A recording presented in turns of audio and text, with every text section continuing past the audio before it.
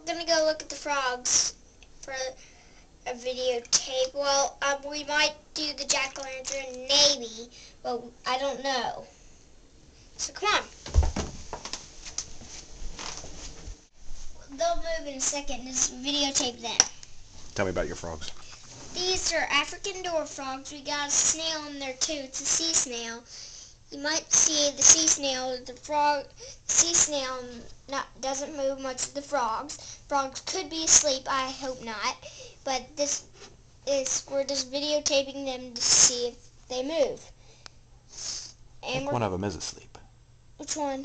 The one that's just floating there. Oh yeah, he's asleep. What's your snail's name? Or what are your what are their all names? Um, there's Tom, Sam, and um, little Larry Little Larry is the um snail. the snail. hmm Or Big Larry because he's so big. And which one is awake? The one down in the corner. Which one is he?